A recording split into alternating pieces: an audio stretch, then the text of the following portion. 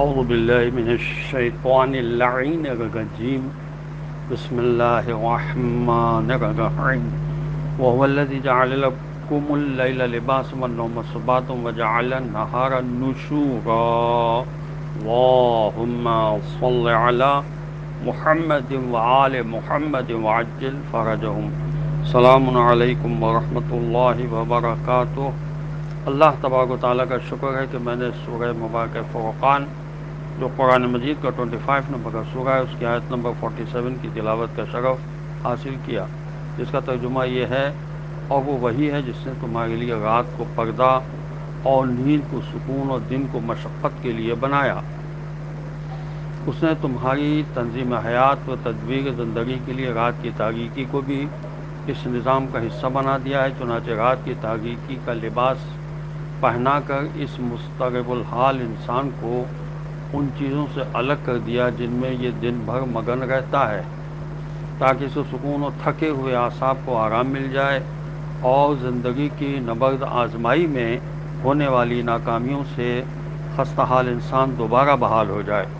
इस तरह नींद आद हयात के लिए एक वक्ती मौत है और इदाम हयात के लिए एक चार्जिंग सिस्टम है। जिनको इस तदबीरी निज़ाम में ख़ुद हयात का दर्जा हासिल है चुनाचे दिन को नशूरन से ताबीर फरमाया। नशूरन मुंतशिर होना, फैलना, दौड़ धूप करना के मानों में और नशर हयात और ज़िंदगी के मानों में भी है। सुम्मा इज़ा शान शराह सुरह अबसा की आयत नंबर है। सूर्य अबसा कुरान मजीद का 80 नंबर का सूर्य है, उसकी आयत नंबर है 22 फिर जब अल्लाह चाहेगा, उसे उठा लेगा।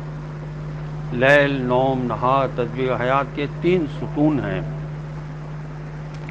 इल्म की कोई इंतहा नहीं है। अजल फरमाते हैं कि इल्म की कोई इंतहा नहीं है और मजीद फरमाते हैं कि इल्म इससे बालातर है कि उसका अहाता किया जा सके।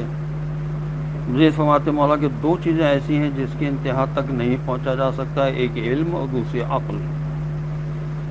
जो ये दावा करें कि वो इल्म की इंतहा को पहुँच गया है, उसने गोया अपनी जहालत की इंतहा को ज़ाहिर कर दिया। हमारी गुफ्तु खुदा के नूर के सिलसिले में मुख्तसरन चल रही है। सूर्य मुबारक नूर की आयत नंबर 35 में इशाद इलाई है कि अल्लाह नूर समावत वलर्ज़ खुदा आलम, आसमान ज़मीर का नूर है। अम्बिया के भेजने का मकसद लोगों को नूरानी बनाना है। इर्शाद रब्बुल्ज़त सो इब्राहिम की पहली ही आयत में हुआ, किताब नूर हमने इस किताब को तुम्हारी तरफ़ भेजा ताकि लोग तारीकी से निकल कर नूर की तरफ़ आ जाएँ।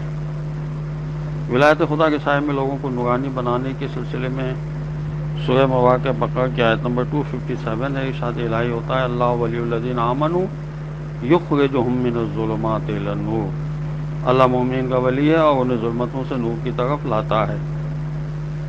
सूर्य मुबारक अनाम की आयत नंबर 122 में इशाद रब्बुल्ज़त हो रहा है कि अवामन का नमैदन फ़ाह ना हो व जाल लहू नूरन, व जाल लहू नूरन यमशी बही फ़िन्ना से कमम मसलहू फिजुलमात जो शख्स मुर्दा था, उसको ज़िंदा किया और उसके लिए नूर करार दिया। ताकि उस रोशनी में लोगों के दरमियान रास्ता चले। क्या ये शख्स उसके जैसा है? जुल्मतों में है। सुरह मुबारक है। ज़ुमर, जो कुरान मजीद का 39 नंबर का सूरह है, उसके आयत नंबर 22 में इशाद इलाही हुआ। अवमन शरह सदरस्लाम फ़ला नूर रब जिस किसी ने को खुदा ने इस्लाम के लिए कुछ अदा किया हो, वो अपने परवरदिगार के नूर से। खुदा हमें तोफ़ी अता फरमाए कि हम इल्म दीन को समझें और समझ कर उस पर अमल करें। असलकम वरहमल वर्का